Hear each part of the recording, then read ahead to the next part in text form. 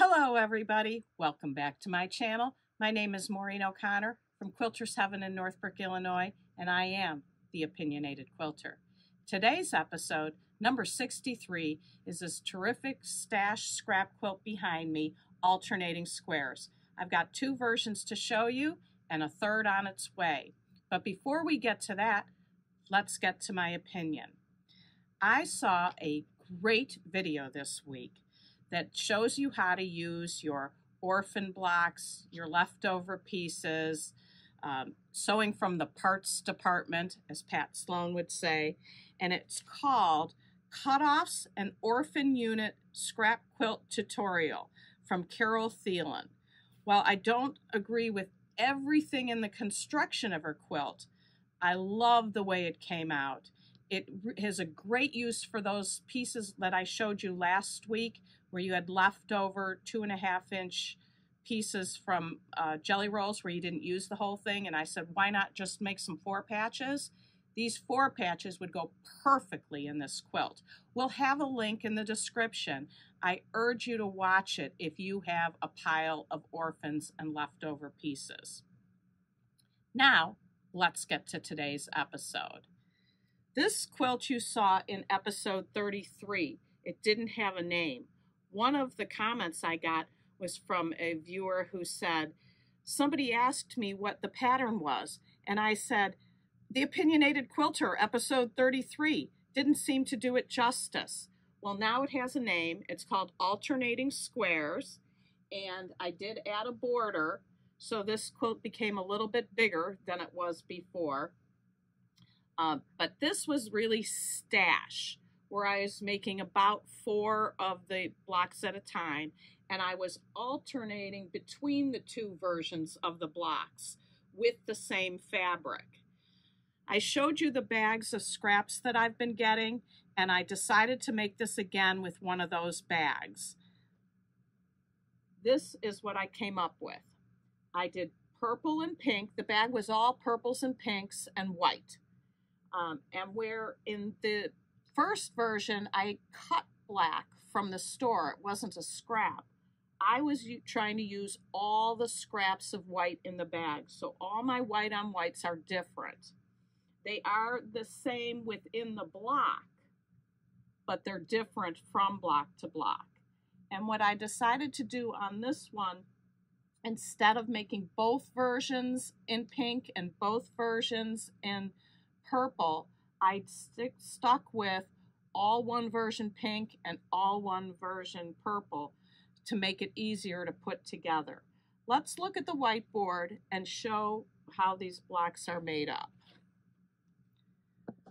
The blocks finish to six and a half, so they're raw edge to raw edge seven. And all of the prints, what I call the print, are the purple and pink in the second version and all the geometrics in the first version. The accent uh, fabric is black and white over here.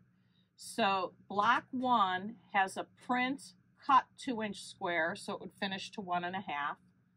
The accent fabric is cut one and a half, so it finishes to one.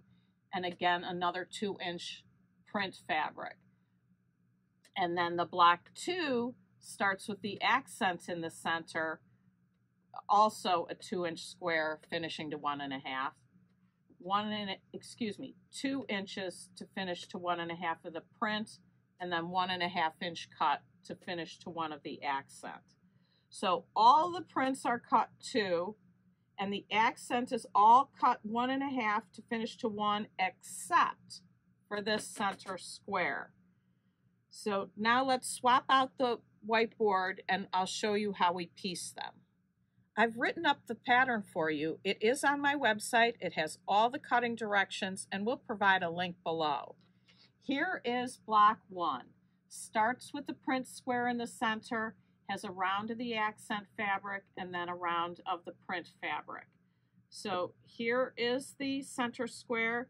You sew the accent on either side, press, add the, the uh, accent fabric top and bottom, and then do it again with the print.